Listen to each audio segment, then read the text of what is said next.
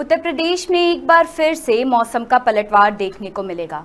बीते दिनों हल्की बारिश के बाद प्रदेश में कई जिलों में मौसम साफ़ हो गया था। चटक धूप खिलने से तापमान में बढ़ोतरी देखी गई।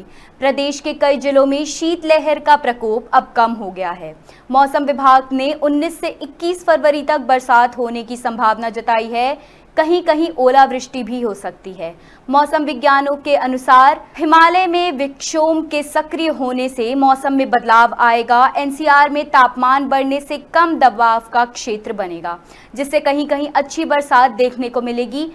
फरवरी में अब तक 20 मिलीमीटर बरसात हो चुकी है।